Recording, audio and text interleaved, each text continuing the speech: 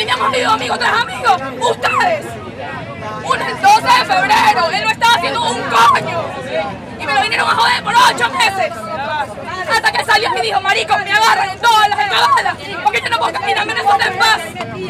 Porque me agarran y me disparan los policías. Batuta, chacao, gatillo, lo que tú quieras. ¿Qué coño de libertad es eso?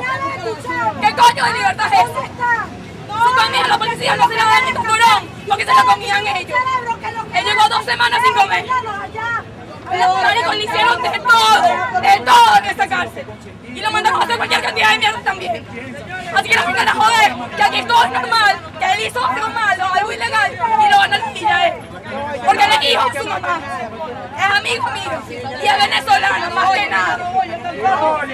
Él llegó traumado, no puede caminar en la acera porque si no, ay no, él está bien, vamos a agarrarlo a